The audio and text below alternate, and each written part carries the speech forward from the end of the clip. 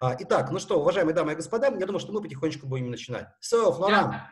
step by step, we have to start. And uh, for the beginning, uh, I have to ask you one thing. So, you have been a winemaker since the age of 17. Is it right? Yeah, that's right. And, and where were you? Uh, and you were very young uh, when you started. Why did you decide to be a winemaker and uh, why did you move to Jura? Uh, just one second, I have to translate. Uh, соответственно, вопрос, который ему задал, да, дело в том, что Флоран, uh, может быть, не все знают, начал работать на винодельнях очень рано, и как винодел он работает с 17 лет. И мой вопрос, в общем-то, в том и состоял, что его сподвигло вообще, в принципе, на эту профессию, и почему он приехал за этим именно в Журу. Please. Yeah, actually, that's funny because, well, my, my father was geologist, uh, and and then so um, not in the world of winemaking. And then uh, I was born in Montpellier, so in the south of mm-hmm. France. And then um, I arrived in the Jura when I was 13 years old. Uh, and then and then I start.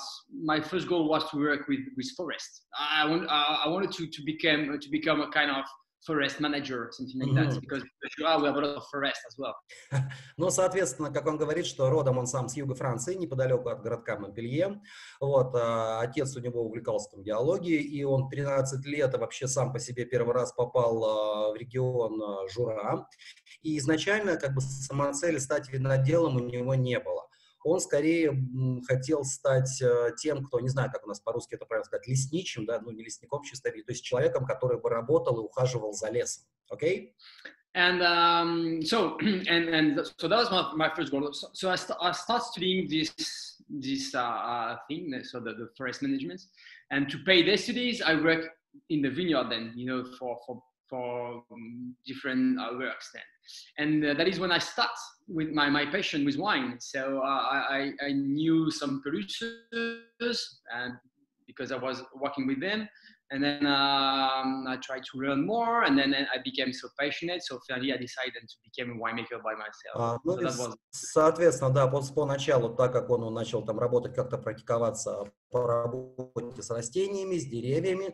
А, в том числе по работе ему приходилось сталкиваться и с а, лозой как таковой.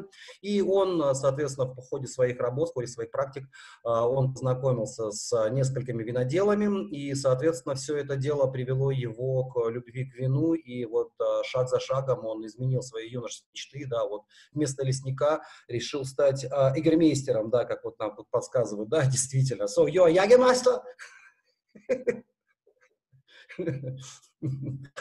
Okay, please continue. Tell us more. yeah, so um, um, and then that's why. So finally, uh, I decided to make some some studies in, in winemaking and uh, because you know when you are not from the world of winemaking, uh, or when you are not the son of a winemaker, uh, it is quite difficult then to to settle and to to find something. I mean, where to work. Uh, so that's why I decided to make some studies it was a kind of key for me to open some doors. And then um, I, I, studied in um, some studies in the University of Dijon, so in Côte d'Or in Burgundy. And then I, I, I, I became I am an enologist, so I'm, I make these studies then. Uh, it is um, so I, I, get some experience at this time and then and then because more than studies I think that make good one cities experience. You need experience and then and then and feeding and more than studies. But you need some diplomas, you know, just as, as I told you, you know, just to open some doors and then to, to be, I mean, uh, yes, to enter this world quite close. And that's why. А, ну что ж, да, как говорит Флоран, да, действительно достаточно сложно, наверное, стать виноделом, если ты не из семьи потомственных виноделов, то есть как бы там дороги у тебя не настолько открытые, поэтому в качестве а, высшего учебного заведения для своего обучения он выбрал университет, где он изучал аналогию а, в городе, соответственно, Лион, что во Франции соответственно, в регионе, да, Лион, Дижон, Дижон. А, Дижон, да, прошу прощения, извините, бога ради, это я заговорился, да, безусловно же, Дижон. э, Дижон э, на север Гундии. И, в общем-то, так потихоньку-потихоньку он стал деле. А, хотя, конечно же, безусловно, практика – это очень важный момент, но а, без а, теоретических знаний и без, в том числе, и диплома, что уж тут говорить, да, ему достаточно сложно было устроиться на работу. Поэтому вот такое вот его, вот, скажем так, начало творческого пути. So, did you finish yes, this university yeah. as yeah, a well, was, yeah, years ago.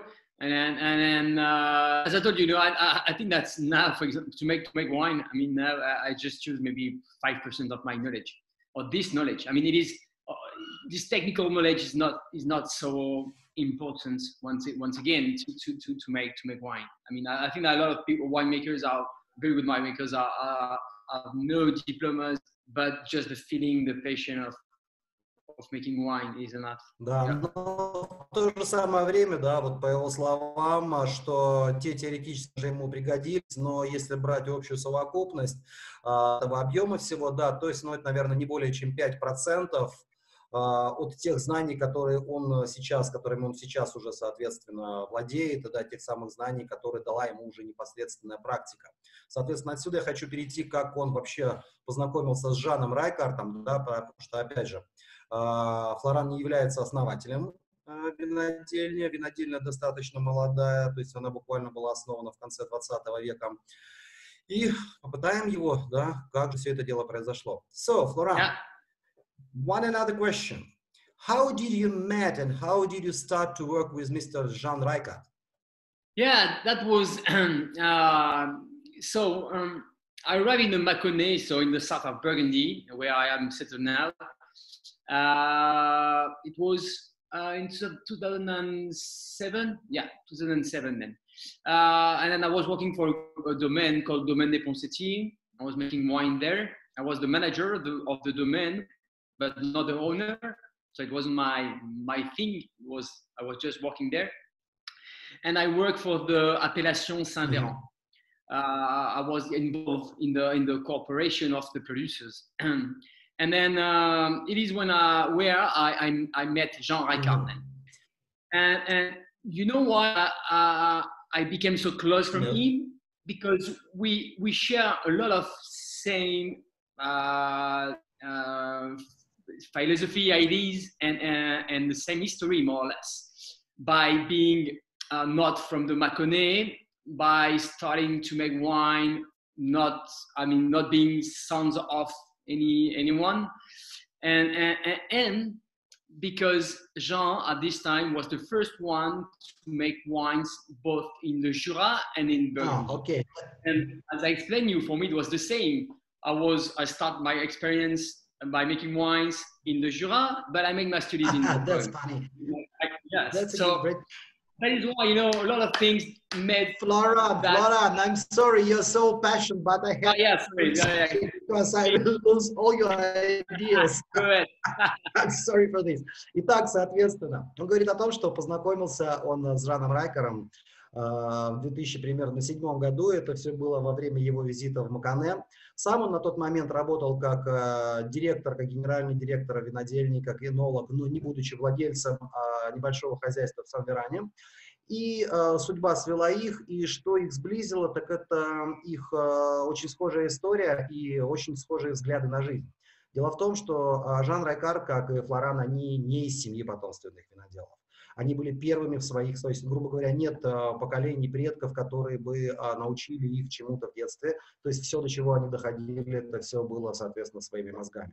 Второй момент, который, опять же, тоже показался на этапе особенно знакомства очень интересным, это тот факт, то, что а, к этому на тот момент Жан Райкар был владельцем на тот уже двух виноделин, одна в Журе, одна, соответственно, в Маконе, где они познакомились, где, в общем, он сейчас обитает. И это также ему, в общем, напомнило о том, что он в свое время первые свои эксперименты с винами, а, соответственно, проводил в регионе Жура, потом уже получал образование в Бургундии, то есть оба региона ему были близки, и там, и там интересно было работать, но вот возможность, опять же, поработать с винами а, двух великих, безусловных великих регионов на тот момент вот а, была только у Райкара, и ему это показалось очень интересным. Ну и, в общем, таким образом они шли, нашли друг друга. Please. And then, uh, yeah, so we start talking a lot I mean about wine, and then and then about I start. Sometimes I go.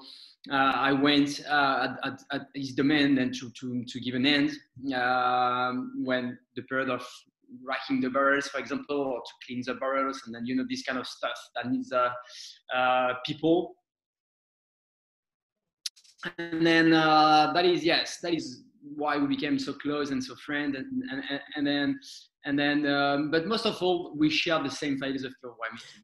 I will give you more, more information about that please, later. But, but yeah, uh, I have another question uh, inside this. So you being a manager of another winery, yeah, you uh, went to visit uh, Raikart and to work as a simple. Yeah, but, but, for free, you know, just like that during the ah. weekends, or just just to okay.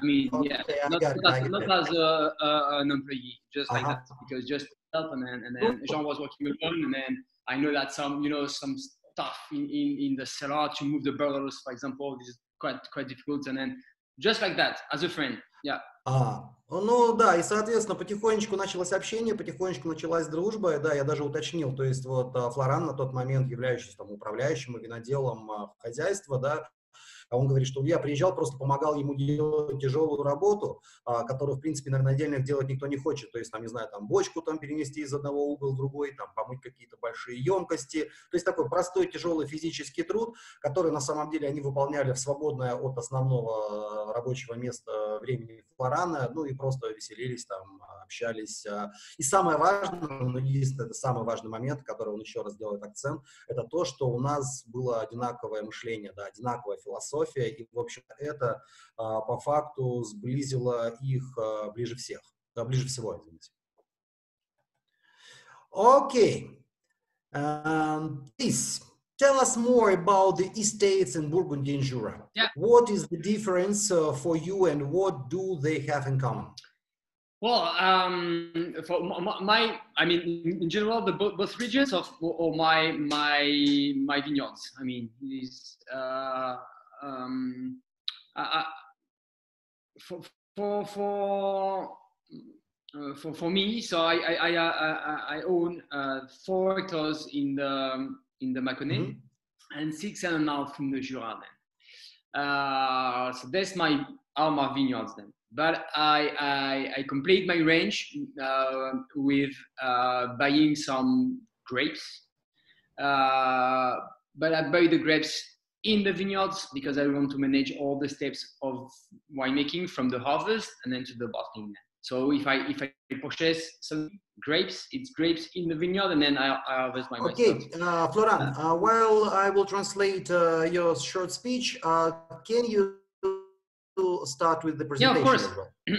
Итак, соответственно, да, вопрос мой был к Флорану. Ну, у него есть хозяйство в Журе, и, то есть есть виноградники в Журе и в Бургундии. И, соответственно, вопрос, да, что между ними общего, что между ними разного. Ну, и он говорит о том, что на данный момент а, действительно, ему принадлежит два виноградника разного размера, порядка 4 гектаров, соответственно, в Журе, и чуть-чуть побольше, там сейчас цифру мы дальше увидим, а, в Бургундии. И что, несмотря на то, что это разный а, теруар, что это разные, что это разные там немножко там погодные условия, но в любом случае оба эти виноградники, они исповедуют одну и ту же философию полного контроля над соответственно, на, над каждой бутылкой вина, то есть начиная от виноградника, заканчивая уже ее заполнением непосредственно бутылки. И, кроме всего прочего, а, говорит о том, что часть винограда для своих вин он также приобретает. Вот. Но опять же, приобретает он не виноматериалы, он приобретает не винный как негациант, он, соответственно, работает именно на винограднике, вплоть до того, что даже урожай они убирают самостоятельно. А, мы потихонечку включили, соответственно, нашу презентацию. Презентация на русском. Вот, поэтому какие-то картинки, какие-то там моменты вы здесь можете абсолютно спокойно увидеть. Еще раз повторюсь, если есть какие-то вопросы, то с удовольствием мы от вас их ждем. Окей, okay, please. Yeah, so can, could we start the presentation then? Yes, sure. Okay, good. It is okay for you, the screen? Yep, perfectly. Okay, nice. Okay, good. So let's go for it. So, uh, Yeah, uh, well, a few words. I mean, we, we speak a little bit about the, the history, but you know, some days then to to to remind you uh, the history of the domain, so which is not so so old as you see. So uh, uh, so Jean you can see Jean on the picture there uh, uh, beside me. So was born in the in, in Belgium because this name Rijkaard, as you as you can imagine, is not not French. That that's Belgium. So it's a Flemish name. So that's why the, the, it is a quite specific name. And then uh, so he was born in, in, in Belgium, and then and then um, he, he, he decided to come. To, to, he was an importer of wine, and then he decided to make wine by, by himself. Uh, it was 45 years old at this time, so quite old and to start to make wine. But and then he decided to move in, in the Mâconnais to create a, um, a négoce called the Maison Verger, uh, which is well still exists. And then uh, he created his own domain, so the domain Ricard, in 1998. So 20, uh, 22 years ago then.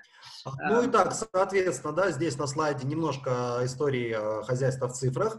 Здесь есть легкие такие ошибки в этой самой э, презентации, не обращайте внимания. Да, год рождения Лимбурга, не, не совсем так. Он родился в городе Лимбург, Бельгия, и это очень важно для понимания самого названия хозяйства. Да, обратите внимание, что написание, ну, мягко скажем, не французское. А, он был фламандец по национальности, соответственно, фамилия у него, в общем-то, она близка к своим корням фламандским, соответственно, голландским каким-то, даже такой футболист был очень такой известный, тоже с такой же фамилией, да, Райкард.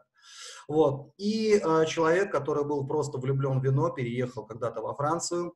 Вот. Э, в 90-м году он сначала основал небольшой негацианский дом, который, кстати, вот Верже называется, он до сих пор существует. А спустя 8 лет э, он создал Мезон Райкар, где причем одновременно оба домена, оба хозяйства, они строились в одно время, в 98 году. Ну и к моменту, когда, соответственно, Жан уже основывал компанию, да, он уже был достаточно взрослый человек, поэтому вот в 2013 году он устал, да, возраст, опять же, силы не те, и поместье было передано во владение и, соответственно, в управление Флорану, который сегодня с нами сегодня общается. Okay, please. Yeah. So then, and, and then some information about my about, about me. So yeah, born in Montpellier. So I, I am 44, nearly 45 years old now. So yeah, time is, is running so fast. and then, uh, well, as I explained you, so in seven, so I was the manager of the domain. The domain was called Le Poncetti. And then, uh, yeah, and I own uh, the domain of uh, Jean seven years ago. it was in 2013. Yeah. Ну и, соответственно, да, немножко про меня. Мне уже вот практически 45 лет, как быстро течет время, да. Ну и, соответственно, вот хозяйство, где я работал виноделом управляющими, да, вот 7 лет уже, по сути, поместье под управлением Флорана. So, let's continue. Um, yeah, so five, well, four hectares in the in the Mâconnais and then six, six and a half because I, I made plantation last year. So in the Jura. And just to show you some pictures, uh, the one, uh, well, that's me, me in the in the cellar um, of the of the in the Mâconnais, the first one, and then the uh, the rock on the top of the slide is La Roche de Solutré, very known from the Mâconnais. As you see, so the, the, the, place there is very stony, very rocky. Mm-hmm. And then uh, on the um, upper side of the uh, well, don't, the, no, John, down the slide, sorry, uh, a picture of Arbois, see, where the church and the cellar of Arbois too. Ну, соответственно, да, немножко картинок, да, немножко информации. Здесь написано 4 гектара в Бургундии и 6 в Журе. Сейчас, говорит, уже не 6, а 6,5. Пол гектара в прошлом году удалось приобрести. А, ну, вот он сидит у бочек на своей винодельне в Макане. А, справа сверху это знаменитая скала, название, прошу прощения, не расслышал, но это очень-то из, один из самых известных и самых часто фотографируемых видов, опять же, Макане. Ну и внизу, а, слева внизу это фотография городка Арбуа, в окрестностях которого у него виноградники, ну и бочки на выдержке опять там же в Арбуа. Uh, yeah, so uh, uh, it is it is just one name, but yeah, two wineries. So one in the Mâconnais, one in the Jura, uh, and then um, two labels. Uh, so the green one and the orange one, or the maroon one.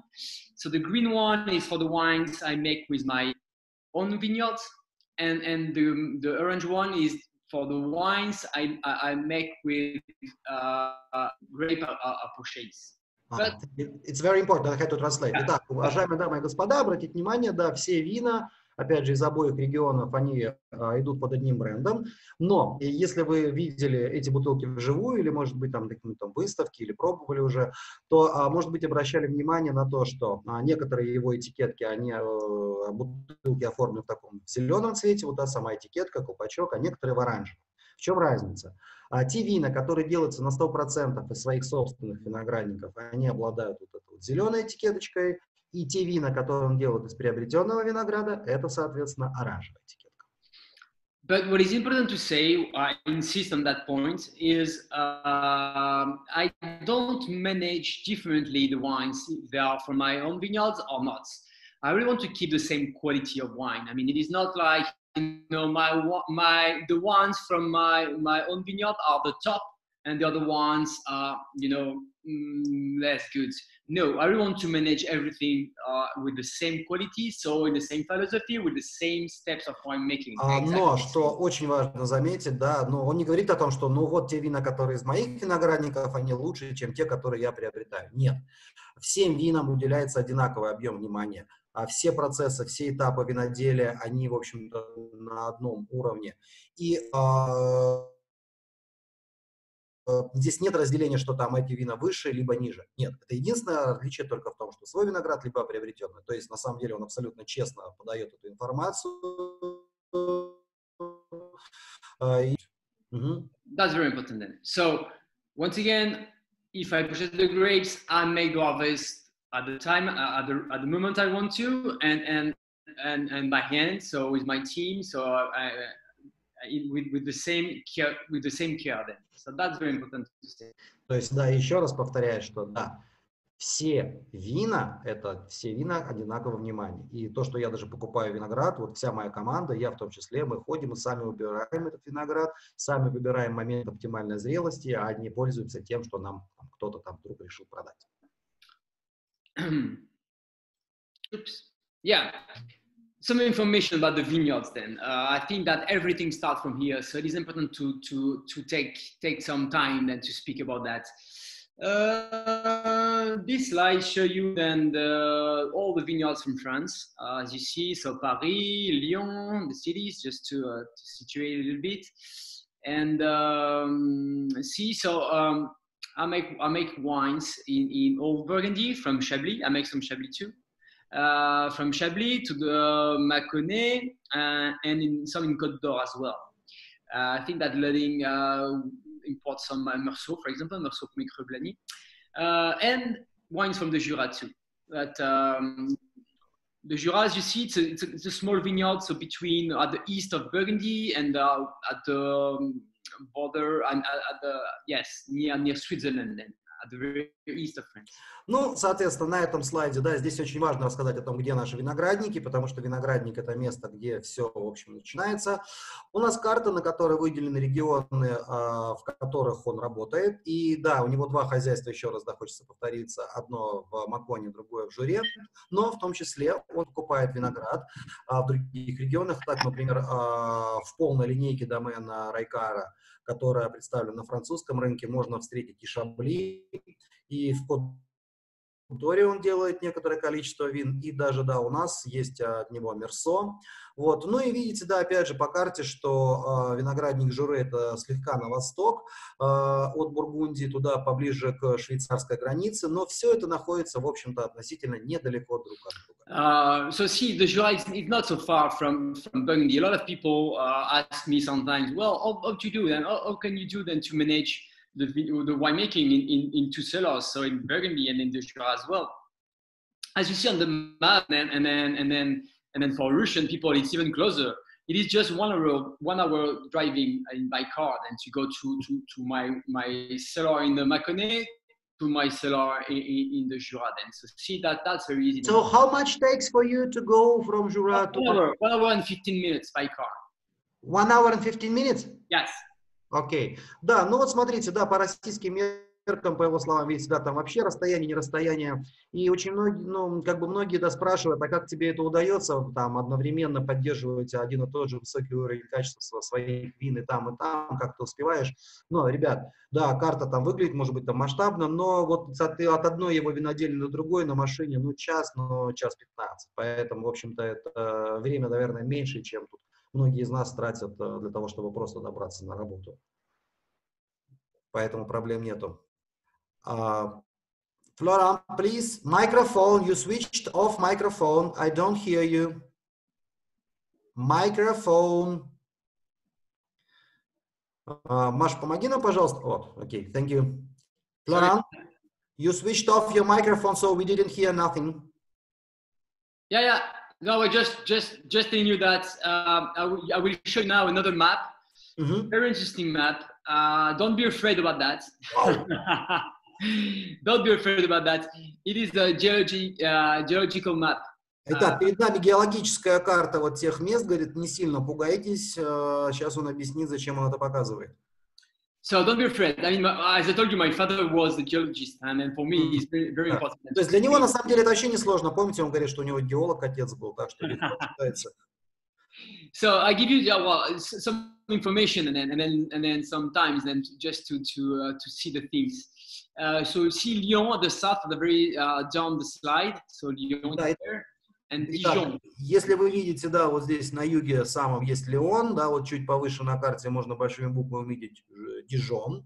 And Dijon, yeah. So at the south, uh, between Dijon and Lyon, so uh, south of Dijon, Côte, the, the Côte d'Or, so the, the vineyard of Côte d'Or, see Côte d'Or, and then where Chalon-sur-Saône uh, is the vineyard of the Chalonnais, and then see at, at the south of Chalon, uh, Macon. Mm-hmm. So we are the vineyard of the Mâconnais. And?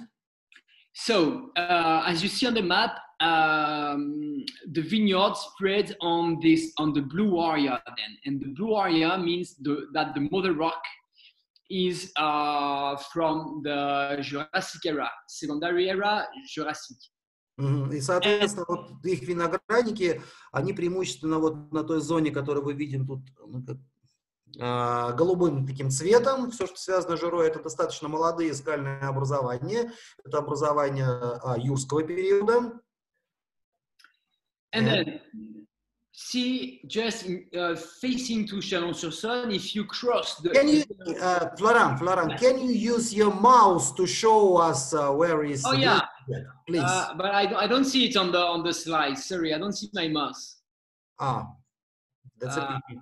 Yeah, yeah, I think so. Maybe maybe I I. I okay, don't worry. Yeah. Well, I, I, I, just to explain in general, then whatever if you if you if you don't uh, um, situate too too too too much the, the the place, so just just go on the right, so you cross the yellow area, and then see the city called Lons-le-Saunier. Lons-le-Saunier. Uh, it's too, too complicated for me. yeah, Chalon-sur, si, Chalon-sur-Saône, then. Chalon-sur-Saône. Uh, так, мы пытаемся разобраться с картой, кто знает, почти по центру. Да. А, Шалон-sur-Saône. Шалон-sur-Saône, окей. So, you, you then go to the right and then you... Направо от него yeah, you cross this this yellow area then, and you arrive in the blue again. Yeah. And there's a city called Lons-le-Saunier. А, да, и вот тут еще есть Le Saunier. Yes, yes. So yeah, there, stop. You are in the Jura there. Да, соответственно, вот это вот город, все, останавливаемся, мы опять в Жюре.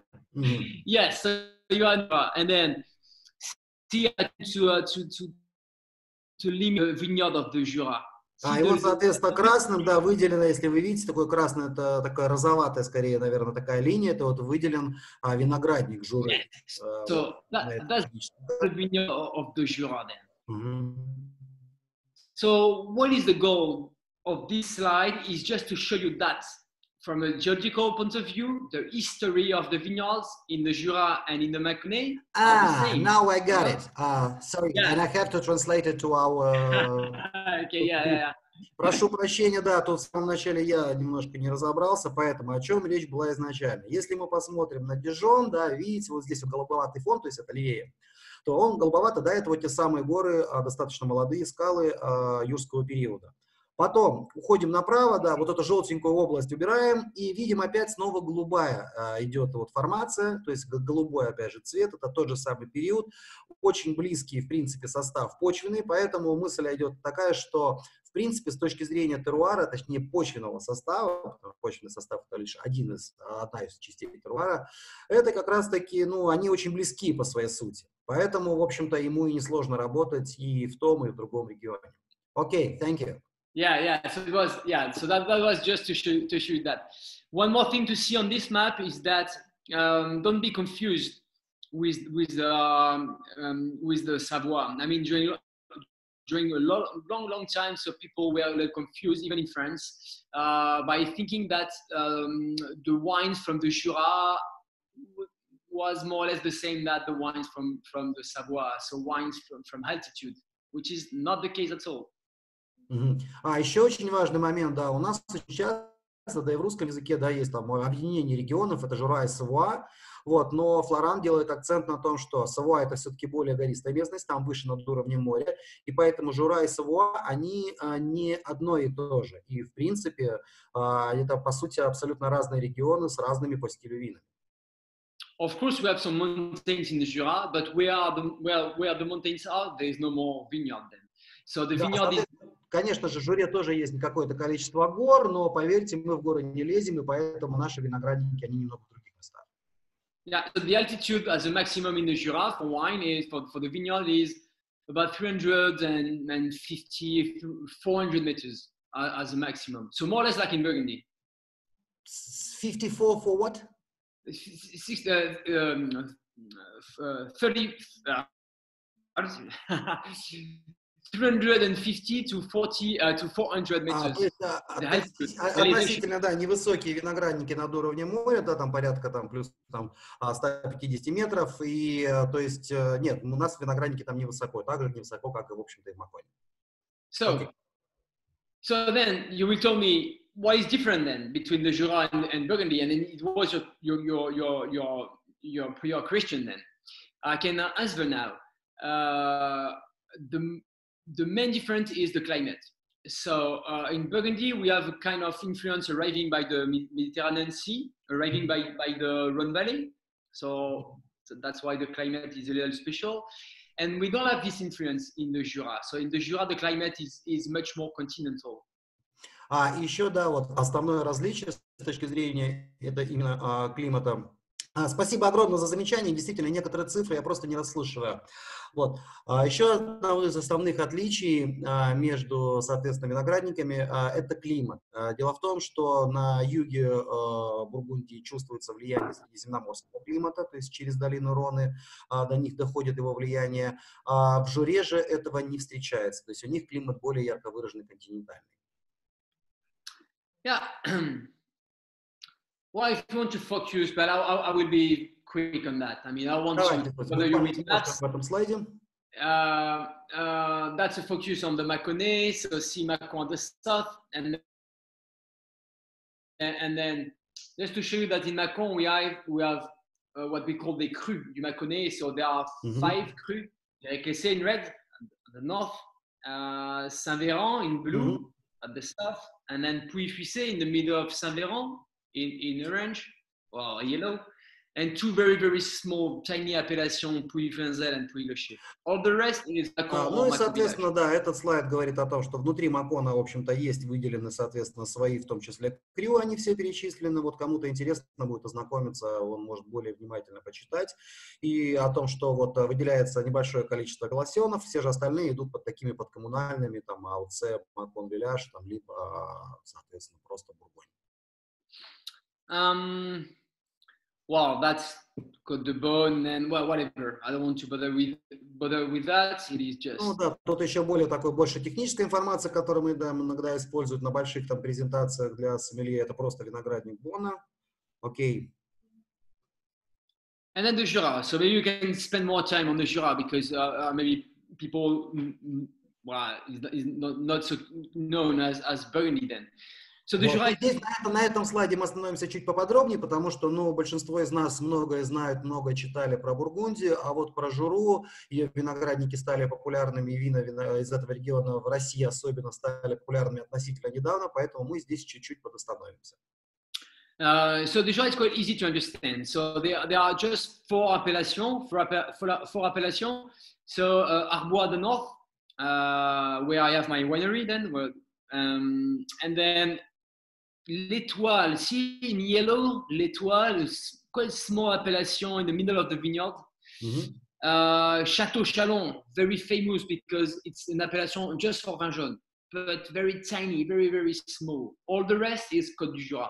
So, ну, соответственно, да, на территории этого региона выделяются четыре апелласьона. Вот на севере достаточно такой вот э, относительно крупный по местным меркам, это апелласьон Арбуа. Чуть дальше внутри-то виноградников спряталась действительно звезда. А, Летуаль по-французски так означает. Это очень маленький апелласьон, кстати, вин которого я на российском рынке никогда не видел. А, есть еще легендарный Шато Шалон, но Шато Шалон это апелласьон, который делает очень такие специальные, очень необычные вина, которые исторически даже там подаются в специальных бутылках э, нестандартного размера. Вот. Ну и все остальное выходит под апелласьоном код дюжуа. Угу. Well, let's speak about the, the winemaking now. I mean, well, that's a, it's a slide with a lot of information that I can I can be I can explain like that. Да, да немножко поговорим о непосредственно теперь производстве самого вина. Да, слайд такой большой, много смысловой нагрузки, но попытаемся попроще объяснить его подход к делу и к непосредственно виноделию.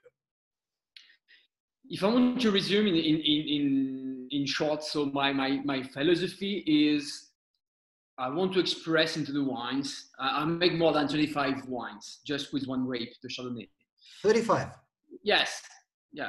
So mm-hmm. as you can imagine, it is very important for me to keep uh, the information from the terroir into the wines uh, and to keep the uh, information of the grape as well. Um, to obtain that, according to my, I think uh, what I think is the less you do, the better is Then. I mean, you understand? Uh, I'm quite lazy, you know. no, but it is it is just um, quite easy to understand. I mean, the structure of a wine for me, the structure and the quality of a wine has to come from the grape. One is grape, is, is grape juice, and then that is why so all steps of my winemaking uh, during all this the the winemaking process. So I, I asked me the question, Florent, what to do to preserve the the, the juice, and then or what to not do to preserve the juice. And then uh, that starts from the, from the beginning of the winemaking, from the harvest. Uh, maybe so I can give you some some shit like that. Please, please, I have to translate yeah, a little bit. Да, прошу прощения, да, видите, Флоран очень такой увлекающийся человек и действительно говорит с огромной страстью. Вот, а, здесь, да, ну смотрите, говорит, я, говорит, делаю там только 35 вин из одного шардоне, по своей сути, да, из разных апелласьонов, и каждый из них, а, каждая из этих вин, которая получается, несмотря на то, что она делается а, из одного сорта, и, в общем-то, виноградники все относительно недалеко друг от друга, тем не менее, они между собой чем-то сильно отличаются.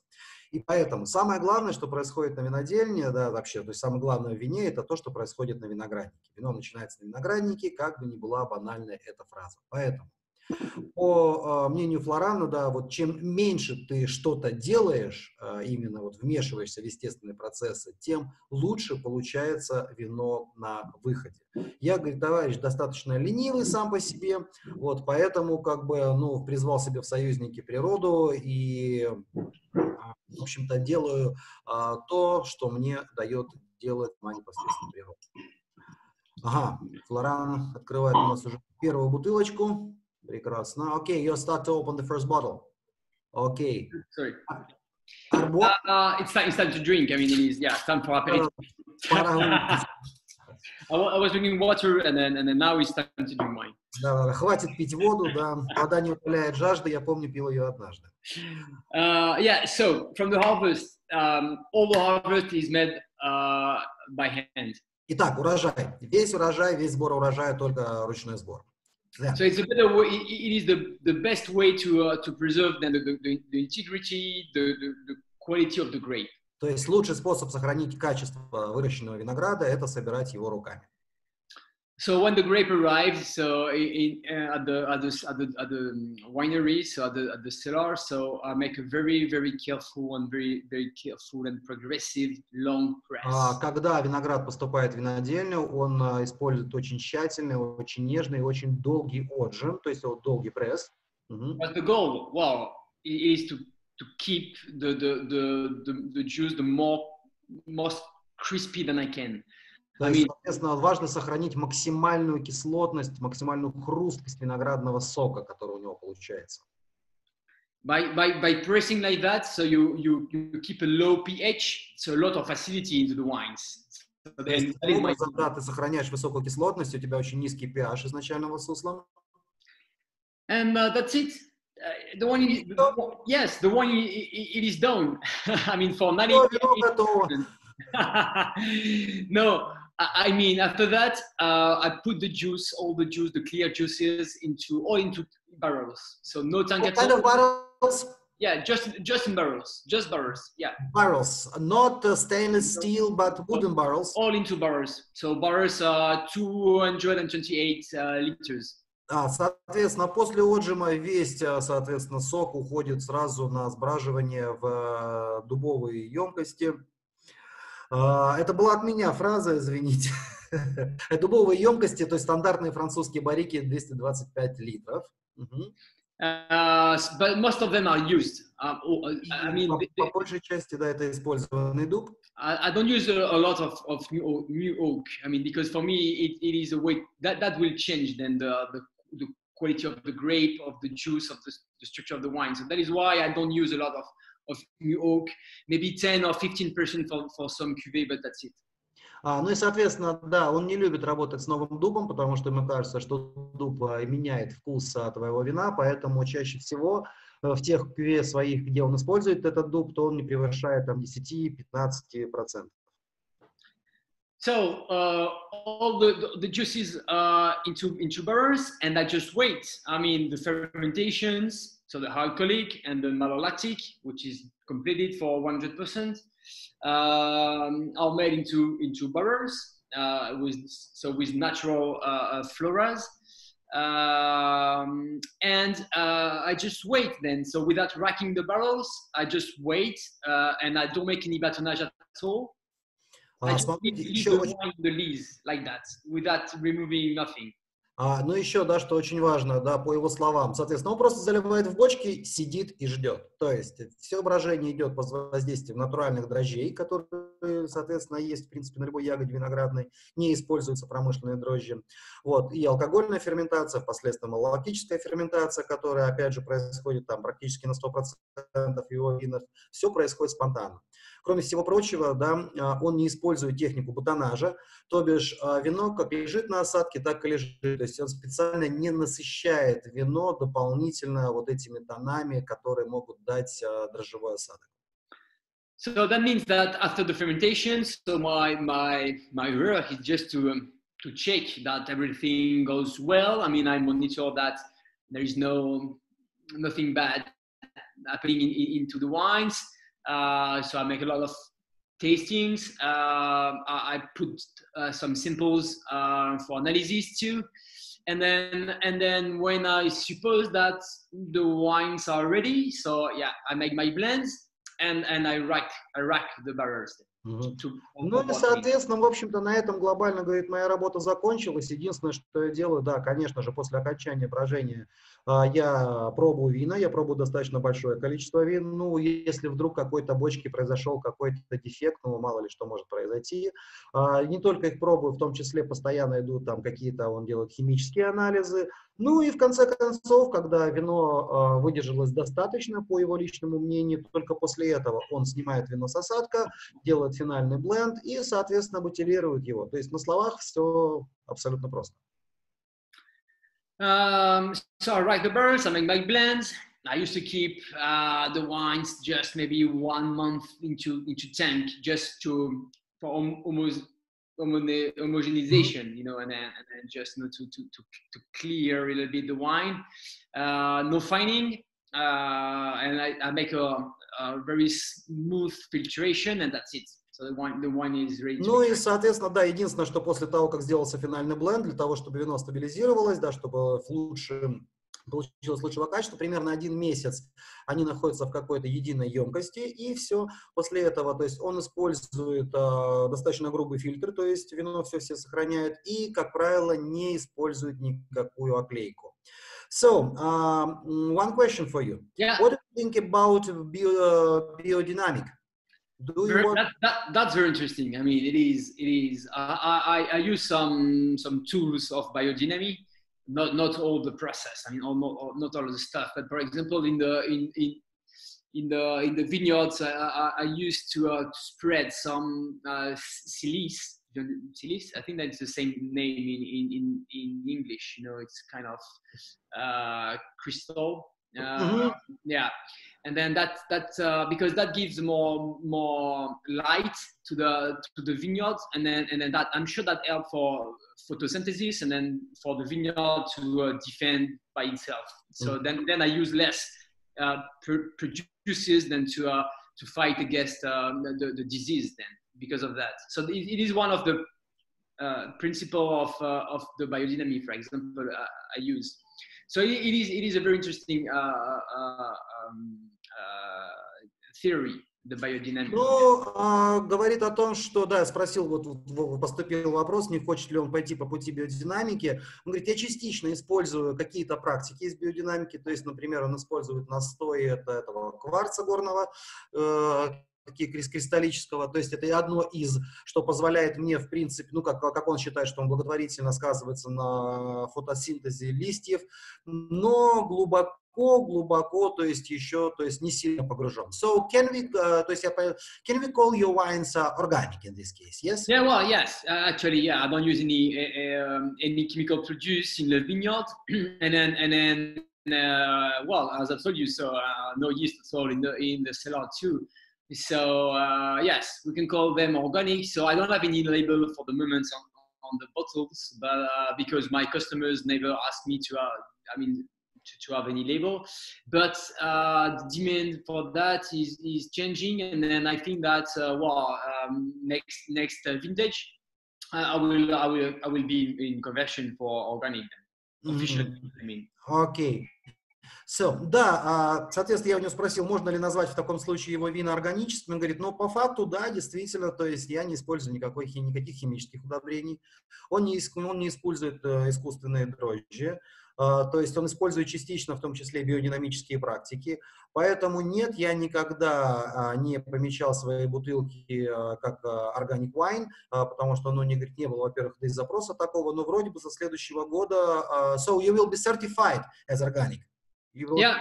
Yeah, into, into three years. Yeah. Да, то есть, говорит, ну да, но через 2-3 года, в принципе, да, говорит, времена меняются, и сейчас это все чаще и чаще слышит этот вопрос, и он а, начал работу в этом направлении, то есть через пару-тройку лет он рассчитывает на получение органического сертификата для своих э, вин.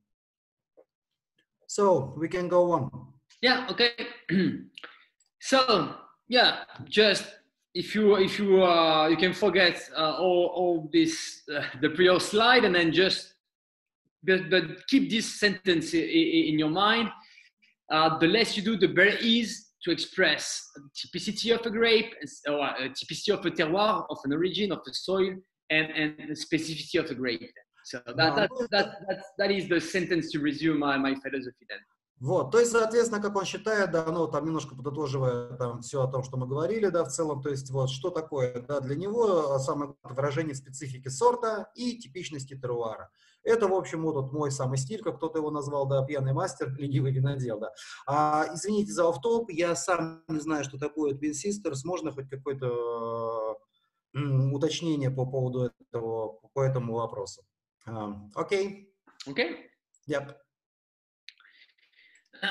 well, so, some figures, but it, it, don't really matter. I mean, well, the Jura, so seven seven uh, different different wines in the Jura, in Burgundy, 18, sometimes more.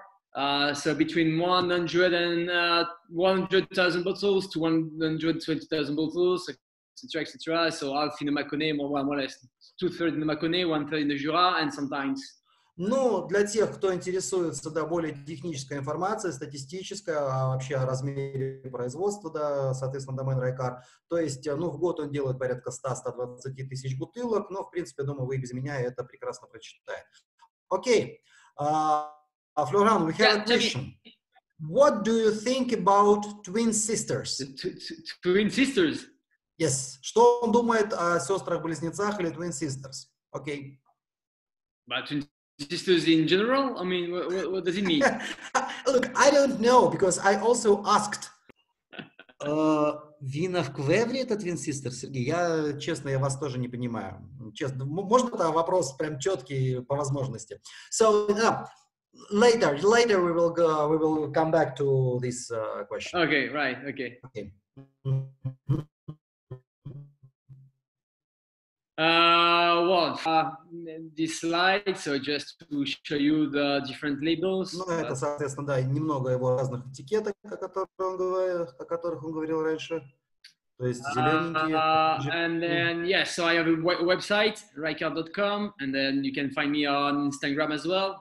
Ну да, соответственно, социальные сети, либо его веб-сайт, где можно почитать более подробно информацию о его винодельне. And uh, well, I think that is more interesting than maybe to show you some some some pictures then. And да, ну и соответственно, говорит, говорит, будет очень интересно, если я вам покажу немножко фотографий, которые вот. I think that during quarantine, so it is important then to travel, you know, and then to enjoy да, the landscape. Пока, говорит, вы там все на самоизоляции, говорит, ну вот хотя бы поехать, хотя бы картинки можно посмотреть. So yes, that's the that the, the, the, the, view on, on the two rocks called uh, Roche de, de Solutré, so the closer one, and then Cloche, uh, Roche de Vergisson, so the, the wine, uh, the, the, the, one um, in, in the back. Mm-hmm.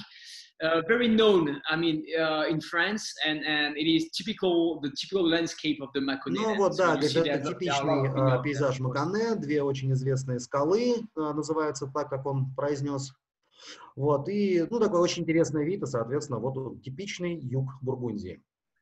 And uh, as you see, so on the, on the, le roche de Vergisson, so the one on the, the, the, the rock on the back, um, you can see on the right of the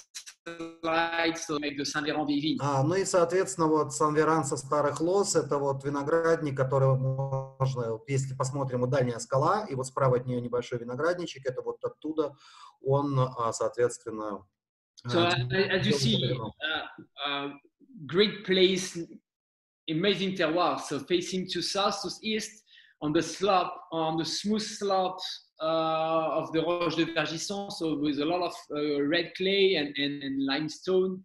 So where the Chardonnay express a lot of uh, uh elegance, purity. So yes, it is an amazing uh, uh, terroir. То есть, говорит, сумасшедший терруар, то есть очень хорошая юго-восточная экспозиция, пологий длинный склон, красная глина с известняком, и получается очень такой интересный, такой вот очень ярко выраженный, соответственно, шардоне для местности. So, yeah. Laurent, now I understand what does it mean twin sisters. Oh, yeah. Tell me. In your, uh, so, first of all, do you experiment with clay amphoras? Yes, uh, yes. Я спросил, да, что он думает, экспериментирует ли он uh, с глиняными амфорами. Yeah, yeah. Uh, I have two uh, two amphoras uh, um, of 12 uh, hectoliters each.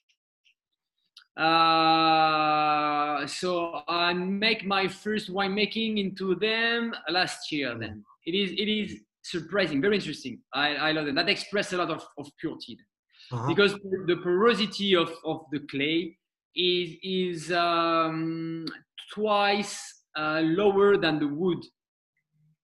So, uh, uh the, so oxygen uh, infiltrates much less into into amphoras than into wood, and and that's why the, the, the wines are even even fresher than in, into wood. А, да, действительно, вот а, первые его эксперименты с глиняными амфорами, да, как они при, при, больше их называют, он начал буквально в прошлом году. Вот, у него есть одна, вот как нам подсказывает одна Шардоне, одна с Саваньеном. Ему нравится очень этот эксперимент, потому что эксперимент выглядит очень многообещающим. Он говорит о том, что пропускная способность кислорода глины, она в два раза ниже, чем у того же самого дуба. Поэтому кислород поступает намного медленнее, и вина получаются еще более такими свежими. and white twin sisters because in your Instagram there is a picture with these two others and it's signed as twin sisters. You're right, exactly. Yeah, yeah, yeah. exactly, that's true. The, the twin sisters. Yeah, yeah, That's true. So yes, I, so I have one uh, with uh, Savagnin and the one with uh, Chardonnay. Yeah, the twin sisters. That's true. Okay, understand. Да, да, теперь он тоже понял, действительно, да, есть одна вот Саванет. Yeah, yeah, yeah, yeah. Да, это мой эксперимент.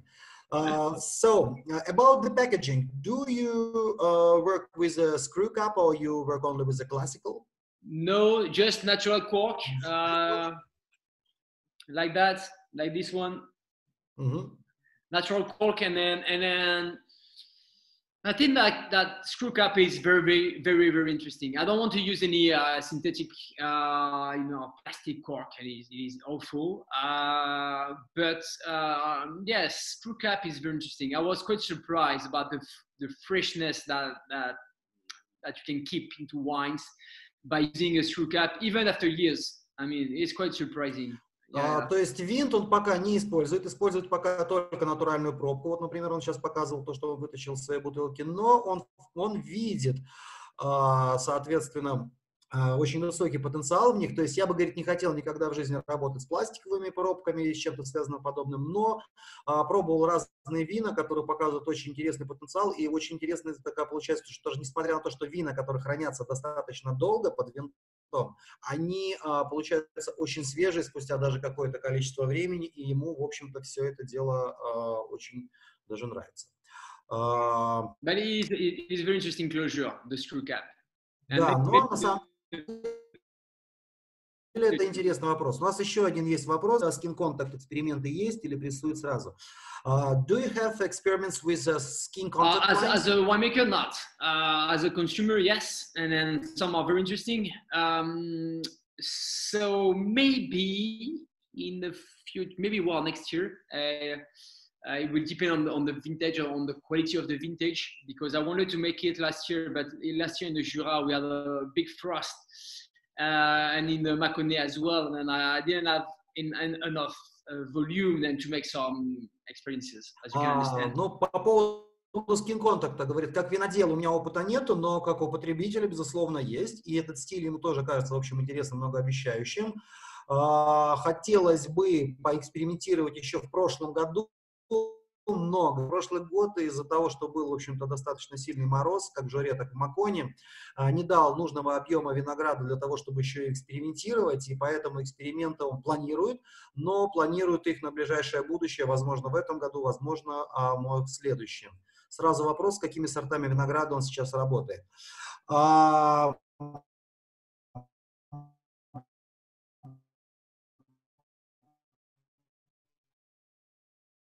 Yeah, uh, well, Chardonnay, well, mainly Chardonnay, and then and some Savagnin in the Jura too, and then uh, some Pinot Noir. I make one cuvée of Pinot Noir, and uh, and the Pulsar, new that's the new cuvée, so uh, red, the Pulsar red uh, from the Jura.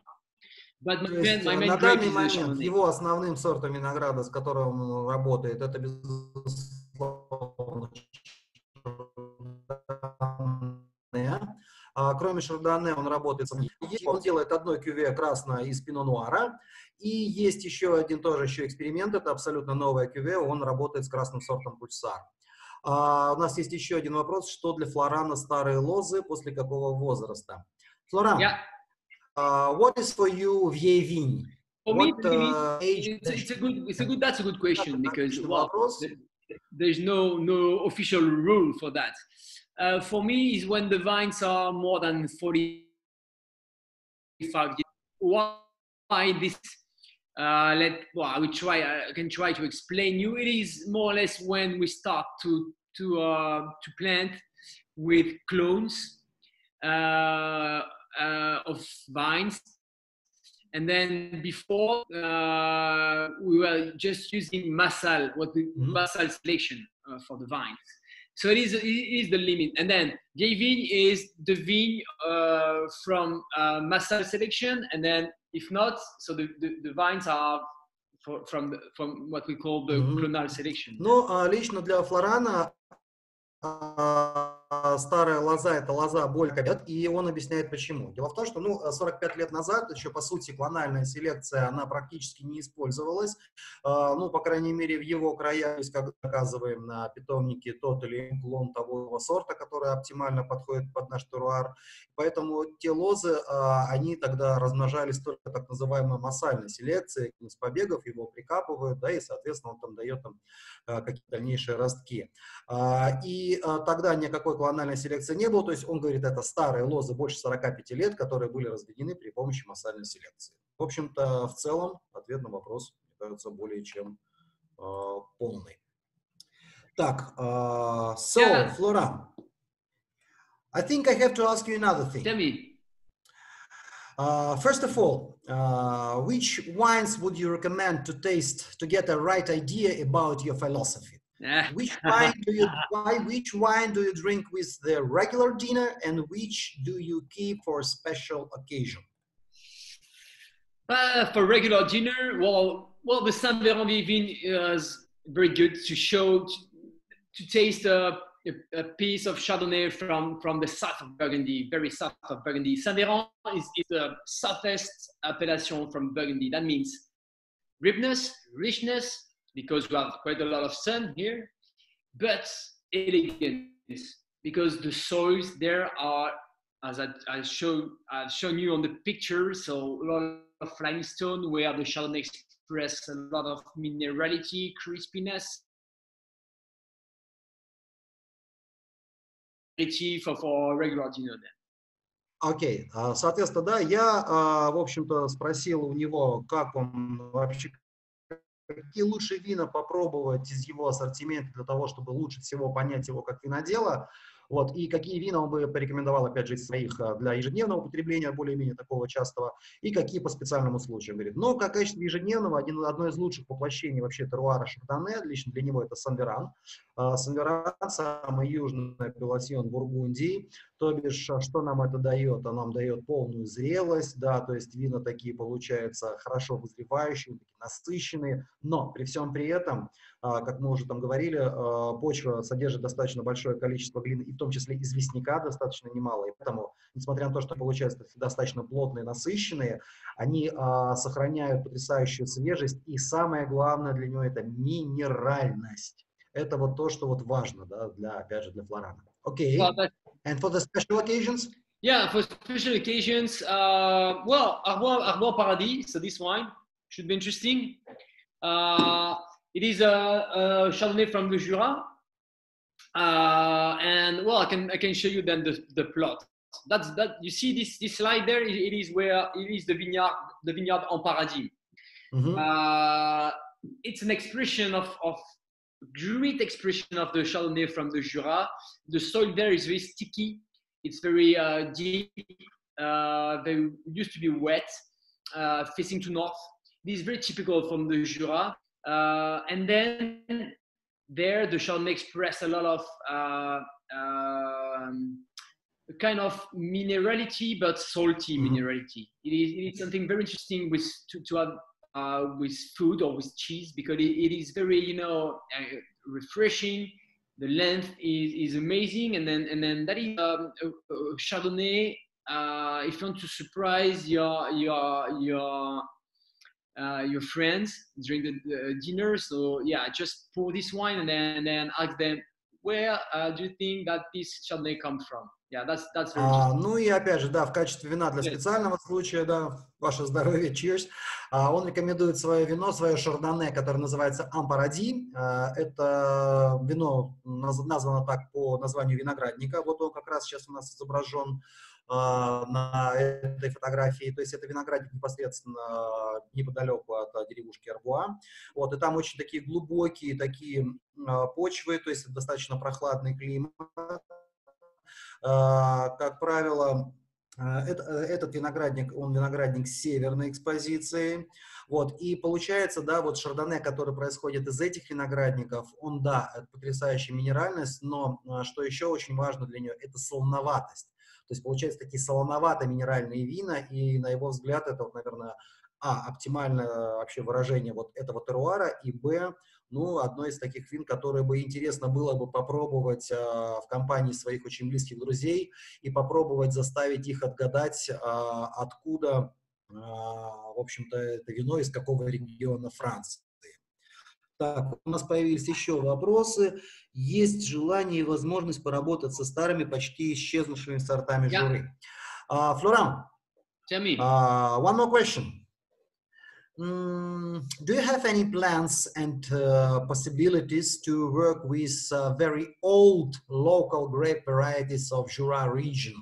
Yeah, actually, it is. It is um, quite difficult for the moment to find some because the, the um, legislation for for vines is is quite. Uh, strict in France, and then and then if you want to keep the EOC, so uh, you you have you, you have to stay on on you know on on, on, the, law.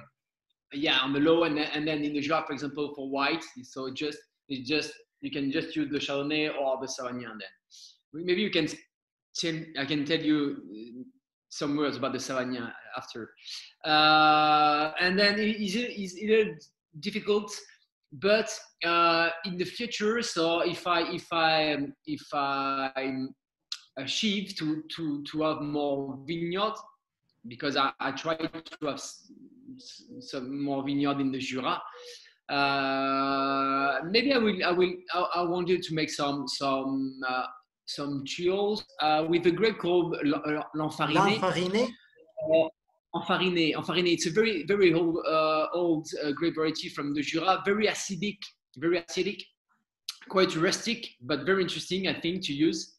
And or, or, or maybe with a Gamay Blanc, you know, Gamay yeah. Blanc, which is the grape, uh, quite acidic too and uh, I love acidity into wines. So I, I will show you, show you I, I'm going you then to, to, to, to make wines with this. Uh, uh, ну что ж, да, действительно, yeah. вообще-то, конечно, очень бы хотелось поработать, но а, момент этот очень и очень непростой. Ну, во-первых, да, первое, с чем мы сталкиваемся, это достаточно сложное французское винное законодательство, да, ты, если ты хочешь сохранить статус АОЦ для своих вин, то ты обязан работать а, в рамках, соответственно, заданной парадигмы и только работа с разрешенными местными сортами винограда. Вот. Но, конечно же, конечно же, в будущем очень сильно бы хотелось, и особенно если у меня получится приобрести еще какие еще участки земли в жюре в первую очередь, а именно вот туда он хотел бы расширяться, то он хотел бы поработать с э, двумя сортами винограда, Гаме Блан и. Анфарине. И второй сорт Анфарине. А, прошу прощения, первый раз слышал существование этого сорта. Он говорит о том, что особенно анфарине, да и гамеблан это такие сорта с очень высокой кислотностью, а я кислотность лично очень люблю, и поэтому вот в эту сторону, конечно же, с удовольствием я бы поработал, а, но, опять же, это все будет зависеть от а, возможностей и получится ли приобрести, соответственно, такие подобные земли. So, yeah. Flora, Uh, uh, maybe I just just be just if I have two minutes more, so just to give you more ah. information about Savagnin because you know yeah, very uh, important. Yeah, yeah, yeah. Because that is not very you know spread. It, mm-hmm. it is a very it's a local grape uh, of the Jura. Uh, it's a it's a kind of Traminer. So well, the most famous Traminer is the Gewürz Traminer. Mm-hmm but uh, the, the, the Savagnin, it, it is, some people call, call it the, the white Traminer then. It, so it is a Traminer then. That means very aromatic, so a lot of aromas. Uh, it's a little spicy and very, very acidic, refreshing. Uh, so for me, it's, it's, it's an amazing grape. Uh, mine are, are not have no oxidation. Maybe you know the vin jaune, for example, made with Savagnin, but with a strong oxidation, like like the Fino from yeah, Spain. Yeah, yeah.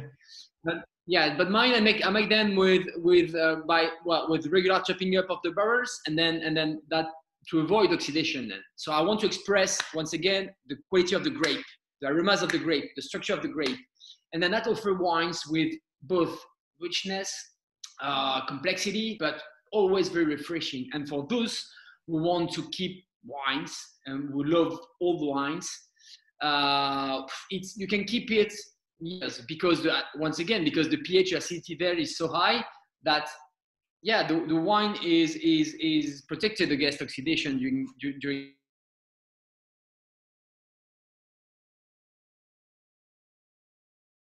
um, to have for dinner, for special dinner, uh, special uh, opportunity, then yeah, at the end of the of the of the dinner, a bottle of Savagnin with cheese, and then that is just perfect.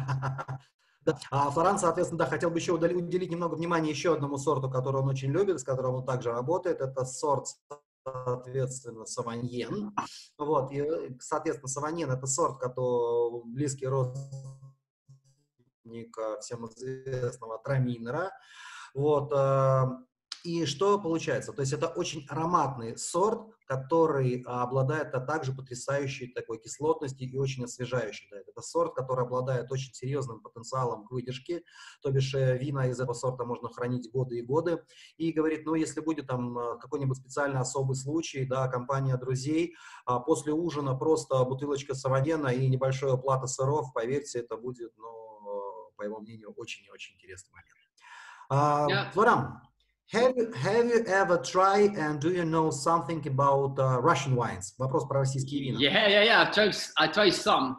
Uh, sorry, I don't, I don't remember the names of, of the wines, uh, but I, I, went to Russia twice, and, and, then and then I had the opportunity to taste some some wines from uh, um, um, uh, the south of Russia, and then and then uh, yeah, actually the reds, not not I think that I never had any whites, mm-hmm. but I, I taste some reds. Very interesting, very good. Yeah. Yeah, yeah. А, ну, опыт, да, говорит, не очень большой. В России он был дважды, и была возможность попробовать российские вина. Не спрашивайте названия, он их не запомнил. А, белые вина пробовать не доводилось. Красные вина, а, ну, интересные, то есть вежливо ушел от ответа, можно сказать, да. А, так, вопрос э, по технологии. Принес ли он что-то новое вино? I'm, I'm, I'm sure that there are a lot of very great walls in, in, in Russia too, so everywhere. So it's just a question of winemaking. Да, ну тут да, действительно вопрос, да, возвращаясь к русским а, сортам, к русским винам, да, то есть наверняка их сделать возможно, тут вопрос техники и всего остального. А, вопрос про технологии. Принес ли он что-то новое вино по сравнению с тем, что делал предыдущий владелец винодельни? А, so, Florent. Yeah. Did you bring some uh, new practice in one making process after you became a owner of a business after Jean Raicard? Uh, what did change? What did you change, or you? It, it, it is difficult to say because, according to me, uh, I didn't change a lot of things. But people people tell me that well, there are some changes because of course the feeling is not exactly the same you know. Uh, and and then even if the steps and the global ID is the same of course maybe the the feeling and then the moment of the when I rack the barrels the the the, the, the moment when I stop the press uh, the moment when I make the topping up it is not exactly the same. And then finally and then you know step by step I think that there is some changing uh, yes, that's it. But the global idea is the same. So, but of course, I mean, you know, and years, year, year, years after years, because there is no recipe when you make wine. That is, that is, you don't have, you don't have. To, I mean, it is. If you have a recipe, you are, you are, you are wrong. I mean, you, you have to to to to to change your ideas each year according the the the vintage, according uh, the tasting you make, and then and then and then you yeah you take information and then and then each year you you you change a little bit your way to make the wine. Okay, I, mean, I that's why. I mean. Итак, соответственно, нет, говорит, на самом деле я ничего нового не привнес. В принципе, в принципе, да, все технологические процессы, все шаги, которые, в общем-то, были и при Жане, и при мне, они, по сути, одни и те же.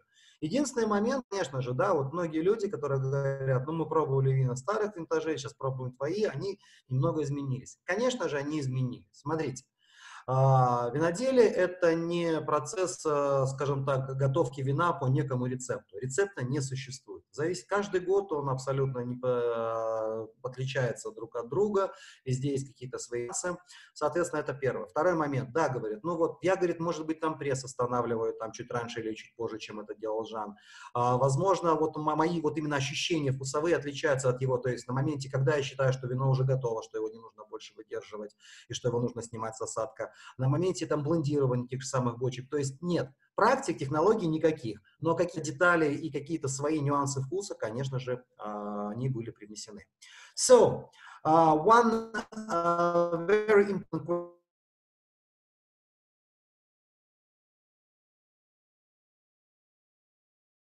and work in the States. Uh, so what То есть мой вопрос был, да, как э, карантин, как самоизоляция повлияла на вообще на природу, на процессы, которые происходят вокруг и вообще на виноделие э, в целом, то, что сейчас происходит. Yeah, it is an important question, uh, uh as you said.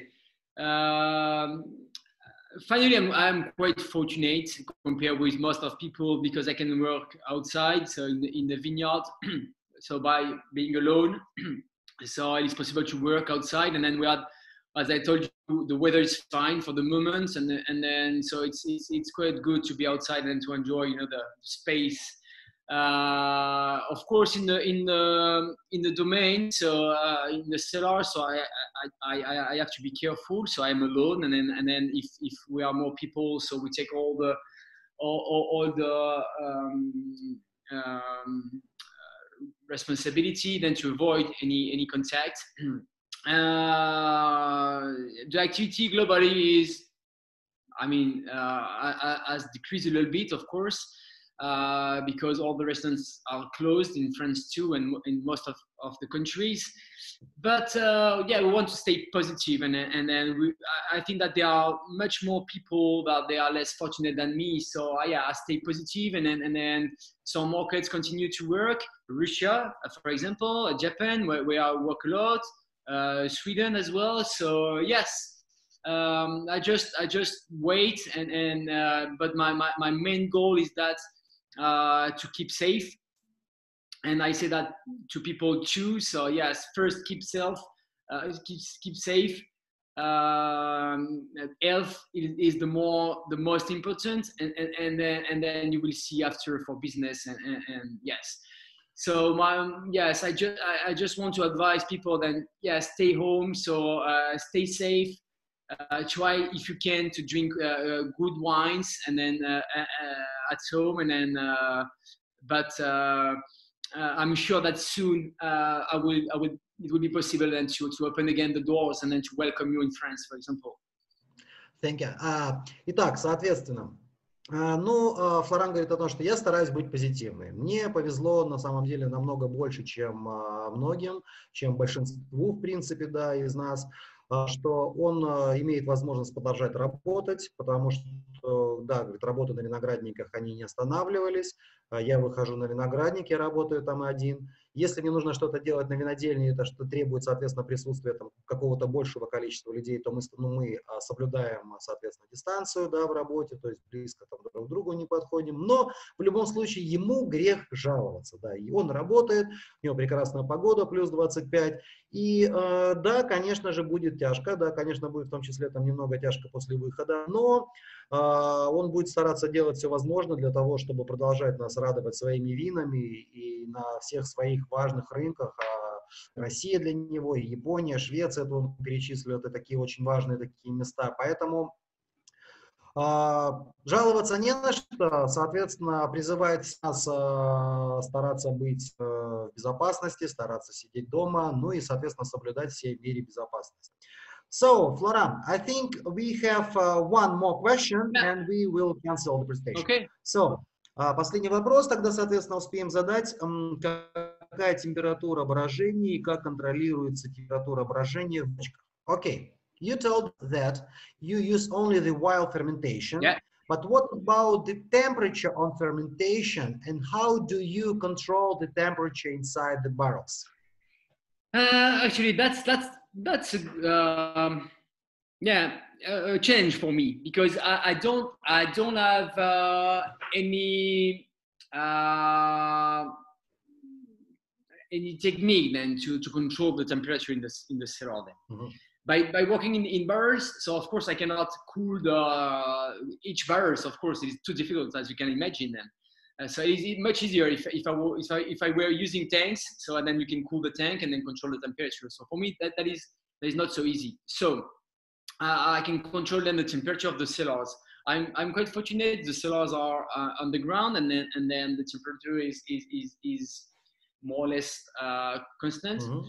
Uh, uh but of course, with the global warming uh, during summer, sometimes it, it is it is quite warm, and then and then I. I um, that's that is why, for example, I, I invest last year. So in in um, in um, cooler euh, shorts.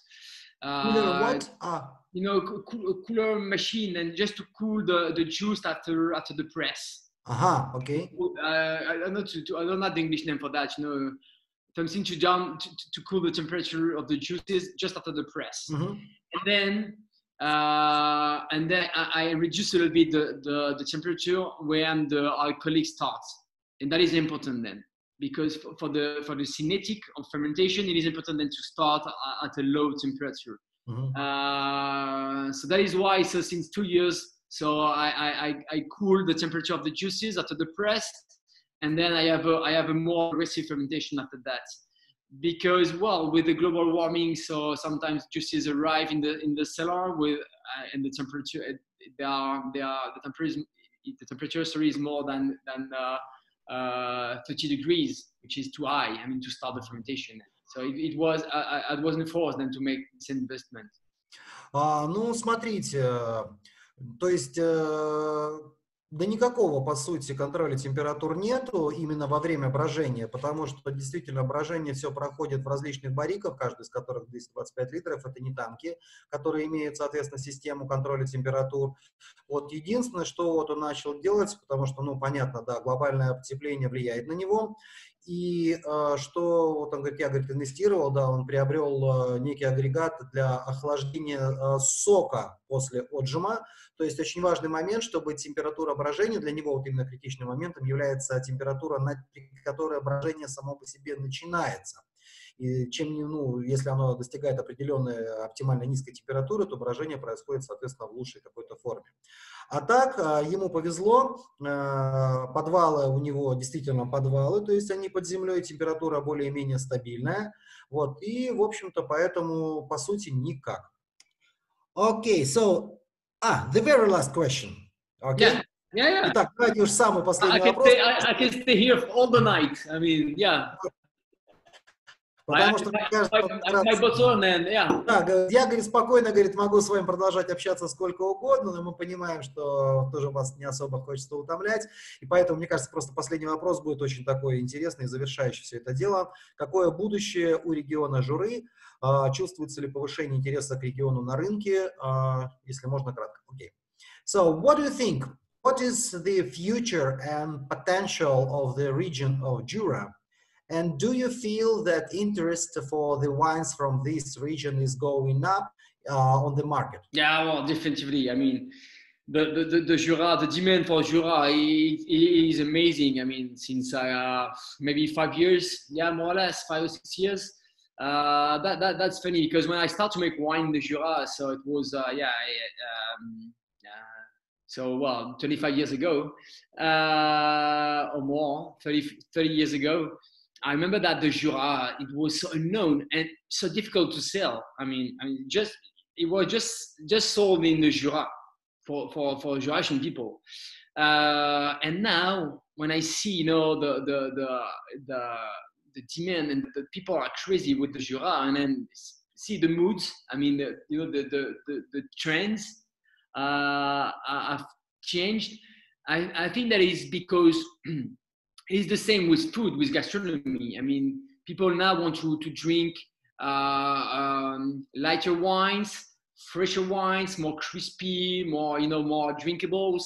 That is the same with food, with gastronomy. So now, I mean, in, in restaurants, so the, the dishes are uh, have, have less uh, butter or, or cream. so we, we cook more the vegetables and then you know the you know fish and and, and, and seafood than than meat. And and so that's why know, I think that the demand for the Jura has increased much. And uh, and of course as you said with the global warming so it is more well it, it is easier to keep balance into the juices in the Jura than in Burgundy for example. So that is why I think the Jura has this this the stream uh, the, the, for the Jura is, is so so powerful for the moment. А, ну, соответственно, да, а, говорит, ну, безусловно, конечно же, он чувствует, что интерес к винам из а, региона Жура, он а, сейчас а, очень серьезно повысился. Потому что, говорит, когда я начинал, там, 25 лет назад, 30 лет назад, эти вина были неизвестны абсолютно нигде, даже внутри Франции. Вот, продавать было их достаточно сложно. Но тренд вот пошел последние 5-6 лет назад. С чем он его связывает? Ну, несколько нет моментов, но, во-первых, да, последнее время а, стиль потребляемых вин, особенно белых, на рынке глобально меняется. У нас сейчас идет больше запрос на более такие высококислотные, более гастрономичные вина. А, соответственно, да, мы сейчас в кухне используем все больше овощей, используем больше там рыбы, там, в отличие от мяса, и поэтому нам нужны гастрономичные вина, которые не будут, а, скажем так, доминировать над а, нашей едой и будут просто только подчеркивать ее вкус. Ну и второй момент, опять же, очень важный, опять же, это глобальное потепление, потому что, ну, Э, на его взгляд, а, в жюре проще контролировать даже естественным образом все процессы, то есть э, в том числе брожение во время выдержки, то есть у них э, температура, ну, мягко скажем, они, она у них более прохладная, если сравнивать его с бургундской, соответственно, и им проще сохранять вот этот вот свежий, такой высококислотный стиль гастрономичных вин. So, Florent, frankly yeah. speaking, we have just uh, two, three minutes, and yeah. uh, I would like to tell thank you very much for your time. Wow, And, uh, я просто хотел да, поблагодарить Флорана, сказать ему огромное спасибо за то, что он нашел, уделил нам время. So, thank you very much. Спасибо, спасибо большое. Соответственно, вам также, все наши уважаемые слушатели, огромное всем спасибо. Вот, спасибо. Надеемся, Just, надеемся, yeah just just just to finish so take care of you and then and then uh, i really hope that very that soon i will i will be able then to come again to visit you in russia and then of course all of, all of you are, are welcome and to come to visit me in, in france too Ну и, соответственно, да, говорит, берегите себя, надеемся, что в ближайшее время все закончится. Он, соответственно, очень хочет приехать опять в Россию, повидаться со, со всеми вами. Вот. Ну и все вы, если у вас есть возможность, то, соответственно, через а, а, то же самое проект Оливайн вы можете обратиться, да, и мы сможем организовать а, посещение его виноградников и его винодельни. Так что всем спасибо огромное и жду вас в следующую среду. В следующую среду у нас встреча с потрясающей парой, а, с э, виноделом из, Фран... О, из Австрии. Это будет э, Юдит Бек. Я надеюсь, она сама лично будет проводить этот эфир. В общем-то, до скорых встреч и увидимся. Спасибо огромное. Bye-bye. Спасибо большое. Спасибо. Все, до свидания.